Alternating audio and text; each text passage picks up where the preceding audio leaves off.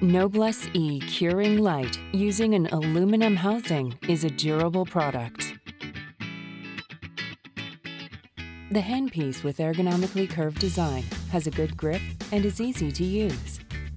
In addition, 3mm, 8mm diameter fiber optic light guide can polymerize teeth of various sizes and are easy to clean and replace as they are replaceable. Using a 2600 mAh large capacity lithium ion battery, it can light cure more than 1,200 times based on turbo 3 second mode and is very useful for treating outpatients. The OLED display makes it easy to select and check the light curing mode.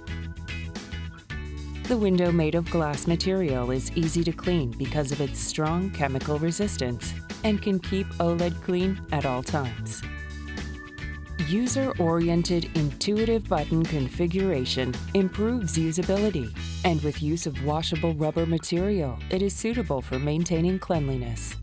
7-watt Blue Dental LED enables up to 2000 milliwatt per square centimeter output, and with the output of wavelength range of 430 to 490 nanometers, it can be used for curing of most composite resins.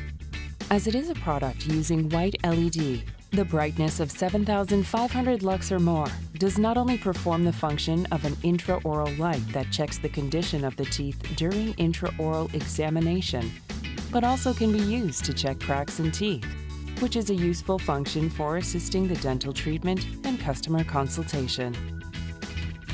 When shining the white LED light from behind the teeth, it is possible to check cracks in teeth, as shown in the enlarged image. Six modes are useful for light curing of various composite resins. Normal mode with 1200 to 1400 milliwatt per square centimeter low output, and soft start mode are useful for light curing of the resin that can be contracted and requires time for light curing, and Turbo 3 second mode with 2000 milliwatt per square centimeter high output is a mode that is useful when fast light curing is required.